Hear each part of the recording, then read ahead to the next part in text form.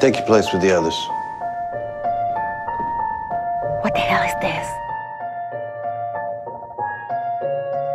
You wanted money? You have been chosen to be next. It's okay. Don't be afraid.